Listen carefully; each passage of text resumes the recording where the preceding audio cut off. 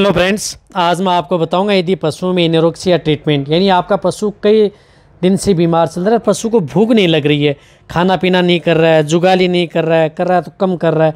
बहुत से पशुपालकों की इस प्रकार की दिक्कत है, वो बार बार कॉल और मैसेज भी करते हैं कि हमारे पशु में इस प्रकार की दिक्कत है, या इस प्रकार की दिक्कत हमारे पशुओं का हमने इलाज करवाया था, उसके बाद में पशु ने खाना पीना ही बंद कर दिया है। तो आज आपको एनोरक्सिया के बारे में पूरी डिटेल से बताया जाएगा कि इसका कैसे इलाज करें प्रैक्टिकली कैसे देखें, कौन से इंजेक्शन लगाए जाएँ, कौन सी बोलस दी जाए, तब आपका पशु खाना पीना सुचारू रूप से कर देगा।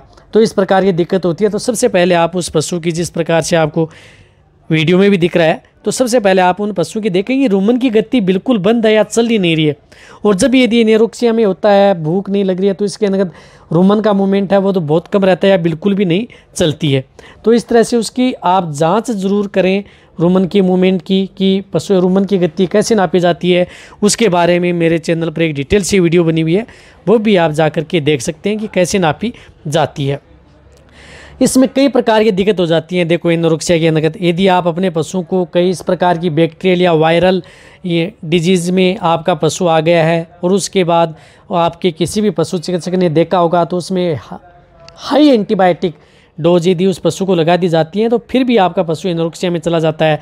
खाना पीना कम कर देता है ओ फ़ीड में चला जाता है, बिल्कुल भी नहीं खाता है। बहुत से पशु में इस प्रकार की दिक्कत हो जाती है।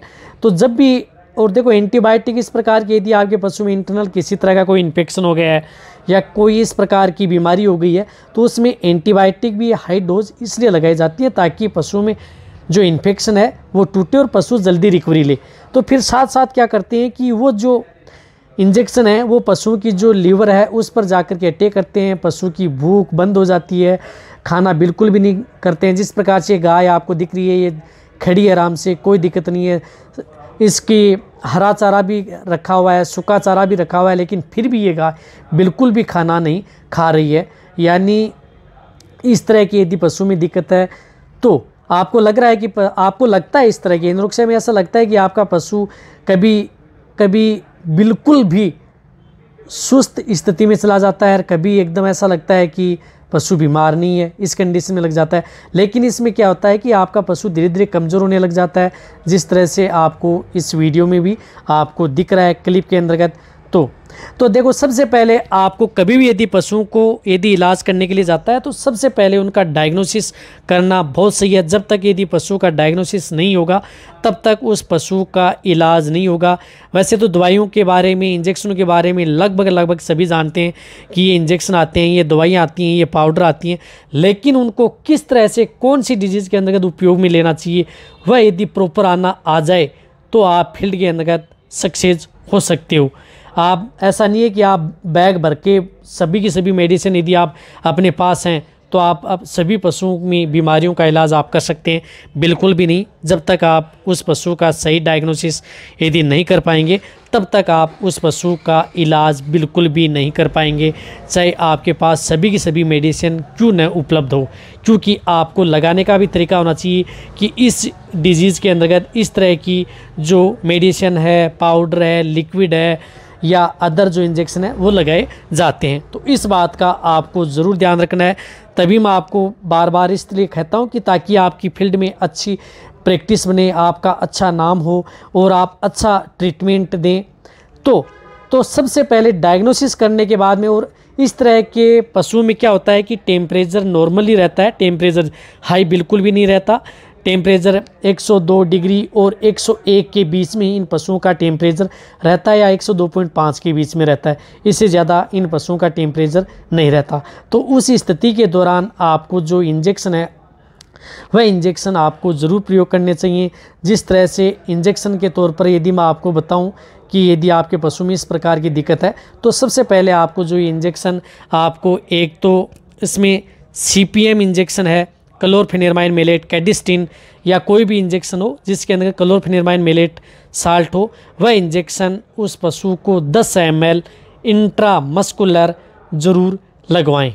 एक बात एक बात ये कि इसके अंतर्गत आपको नीमोसलाइड इंजेक्शन भी प्रयोग करना चाहिए, क्योंकि नीमोस्लाइड इंजेक्शन भी इस तरह की जो पशु में दिक्कत हो जाती है तो बहुत ही अच्छा रिज़ल्ट आपको देखने को मिलता है। जिन पशु में यदि दिक्कत है तो एक नीमू स्लाइड जिस प्रकार से ये गाय दिख रही है, इस गाय के अंदर जो इंजेक्शन लगाया गया है, वो सी पी एम दस एम एल इंट्रामस्कुलर लगाया गया है। साथ ही साथ इसके अंदर जो भी इंजेक्शन लगाया जाएगा, वह इंजेक्शन लगाया जाएगा निमोसलाइड निमोसलाइड भी लगाना है। बहुत इस प्रकार के कमेंट्स करते हैं कि, सर निमोसलाइड इंजेक्शन क्यों लगाया जाता है? निमोसलाइड इसका टेम्परेचर नहीं है। अरे टेम्परेचर नहीं है, लेकिन कई बार इंटरनल ऑर्गन है या आपके पशु में किस प्रकार की कोई दिक्कत है इंटरनल कुछ स्वेलिंग है, उसकी वजह से भी पशु खाना पीना नहीं करता है तो ये इंजेक्शन उस पशु को दें बीस एम एल, पंद्रह से बीस एम एल इंट्रामस्कुलर।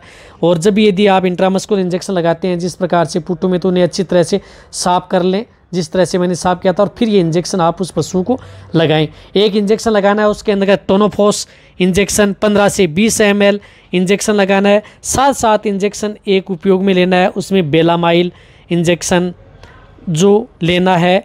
दस एम एल इंट्रामस्कुलर।